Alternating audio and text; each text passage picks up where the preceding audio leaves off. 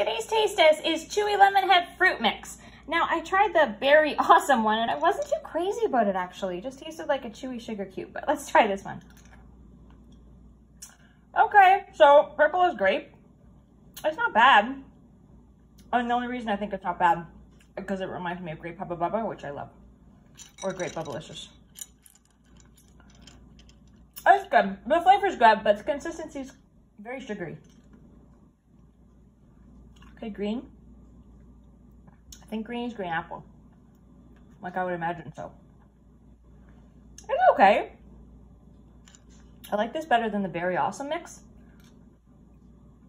Oh, that's definitely cherry. I do not like that. But I don't like chemical cherry. Okay, let's let's eat something else to get rid of it. Oh, we did green. So all we got. Orange. Okay, let's try. Orange is orange.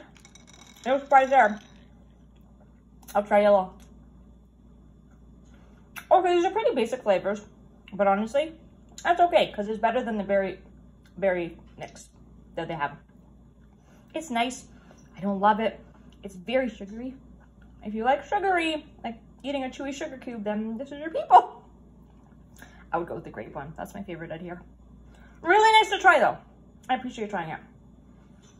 It's not bad. it's high praise. it's not awful. it's really nice to try. I appreciate it.